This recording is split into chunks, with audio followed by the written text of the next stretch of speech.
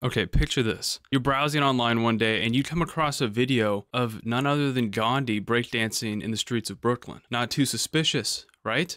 Other than the fact that Gandhi's been dead for like 70 years, dude. And I'm almost certain he didn't know how to breakdance. So how does this video exist? Because it basically looked hyper realistic. Well, if by chance you actually do find a video like this in the future, it was probably created using OpenAI's new Sora AI, which basically lets you make hyper realistic AI videos using nothing but a description of the video that you gave it. Now, I basically saw like, I think I saw one of these videos. The one that I saw was of a cat and a chick just laying in bed, just chilling in bed. And buddy, I, I couldn't tell the difference. That looked like a genuine video to me.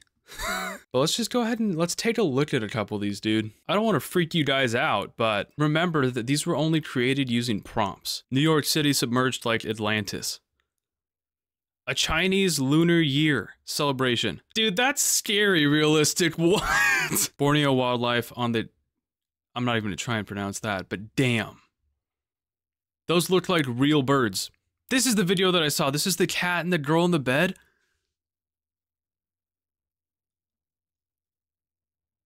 There's no way. That's so insane, dude a flock of paper airplanes? You gotta be shitting me.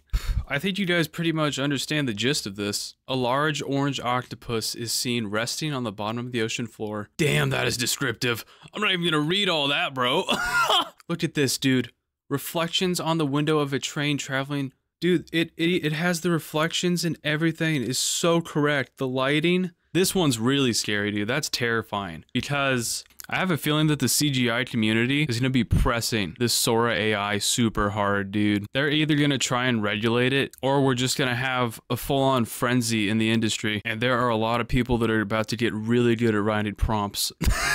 This actually poses a pretty big threat when it comes to 3D generalists, animators, the whole nine yards, dude. Everybody involved in the whole CGI pipeline, they're probably worrying right now because of this Sora AI. They make up such a large portion of production for films, video games, TV, and essentially what's happening right now is we got an AI that can do every single person's job in that pipeline with just one person writing a prompt. Now, obviously, it's not to that extent yet. I don't think that this AI is that good, but like, holy shit. It literally created a hyper realistic video of a chick in Tokyo riding the train, and you can see her and other passengers in the reflection of the window. It is just mind boggling to me that this AI can do that. And let's not even talk about that cat, bro. You could literally see every strand of hair on that cat. And not only is this a scary thing for people involved in CGI and pretty much any type of video creation as it pertains to content. I'm not sure if you guys heard the other day, but there was an extremely controversial thing in the news about T Swift and some AI generated images. If you thought that those images were bad, all right, and that was controversial,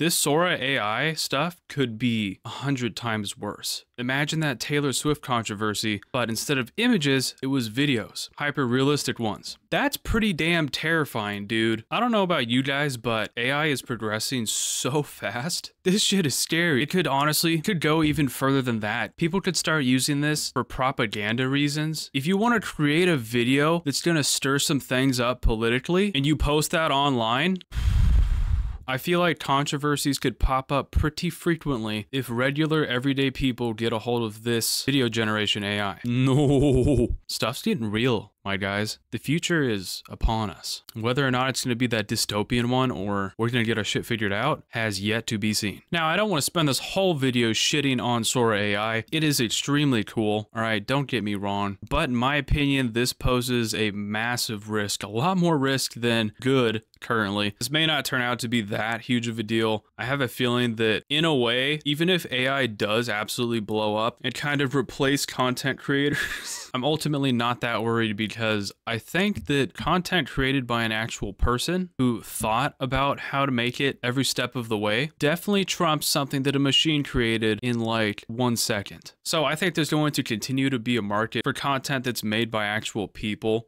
Anyways, boys, that's the end of the video. I hope you guys enjoyed it. Have an amazing weekend, and I will see you guys on the next one.